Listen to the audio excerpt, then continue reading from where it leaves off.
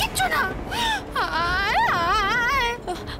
বেশ, তাহলে আমাদের গ্রামের বদ্যি মশাই উনি একদম ধন্যন্তরী। তুমি একদম চিন্তা করো না, আমি বরং তোমার নাতিকে ওনার কাছে নিয়ে যাব। ওর পা একদম ঠিক হয়ে যাবে। ওরে ওরে মেয়ে, তোকে কি করে বোঝাই বল তো মেয়ে হ্যাঁ? ওরে ওরে, এ বিড়াল তো আর যে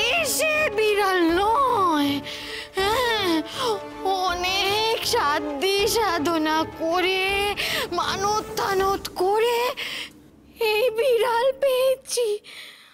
আমার নাতিকে পেয়েছি। আর তুই তার ঠ্যাং ভেঙে দিলি হ্যাঁ? ঠ্যাং ভেঙে দিলি। এখন এখন ওর এই ঠ্যাং জোড়া লাগাবার একটাই ওষুধ আছে। বেশ কি ওষুধ বলো? আমি এনে দিচ্ছি।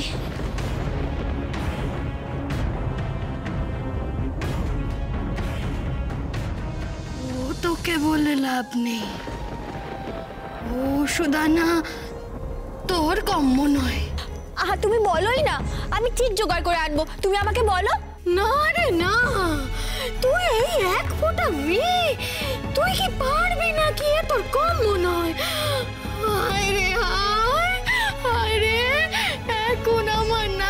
নাতিটাকে আজীবন এই ভাঙা ট্যাং নিয়ে কাটাতে হবে।